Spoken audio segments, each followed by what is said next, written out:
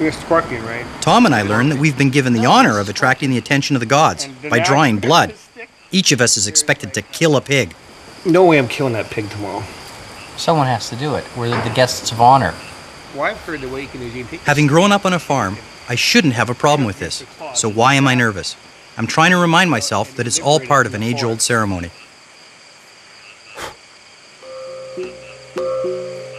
Headhunting hasn't been practiced along the Skrang for decades, but the Iban still pay homage to the skulls in their possession.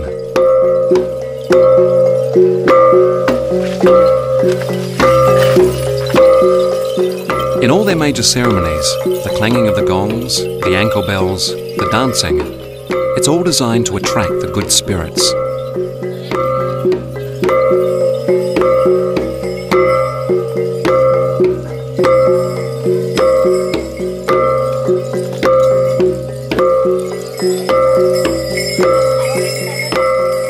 I'm afraid this is going to be bloody, but then that's the whole point. Flowing blood is the symbol of life, and it's supposed to please the spirits.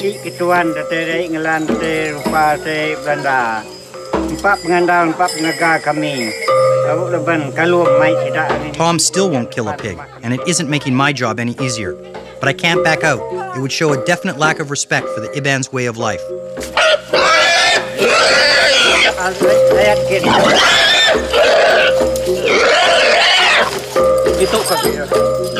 As I understand it, this pig did not die in vain, but its screams still bother me more than I expected.